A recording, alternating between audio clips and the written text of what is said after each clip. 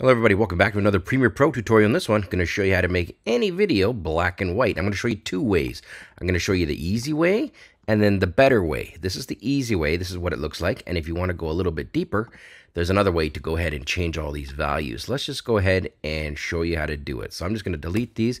We're starting from scratch. We've got some video here. First step, if you want to go the easy way, just type into the effects panel, just type in black, and then you'll see an ampersand when you do that, black ampersand, you'll see black and white. Drag and drop that on there, and presto, you've got it. That said, you cannot make any adjustments to this. This is only style you can get. So I'm going to delete this, and I'm going to show you the second better way to do it. You could type in, instead of the black and white, type in Lumetri, and then hit space, and then color. Now, Lumetri color actually allows you to do a few other things. So, for example, I've dropped it on there, and I'm in my effect controls panel. Check this out. Basic correction to get black and white, you basically just pull the saturation down. That said, Lumetri Color allows you to adjust exposure. You can increase the contrast, which I generally like to do.